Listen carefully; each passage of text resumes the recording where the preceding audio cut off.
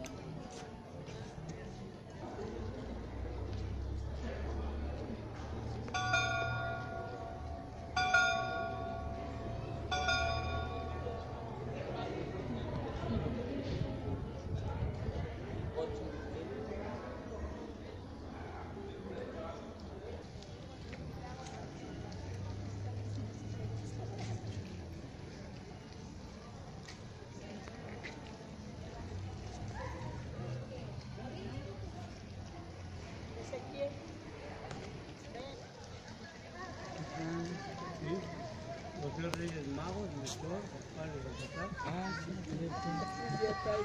tenemos la cara del chango.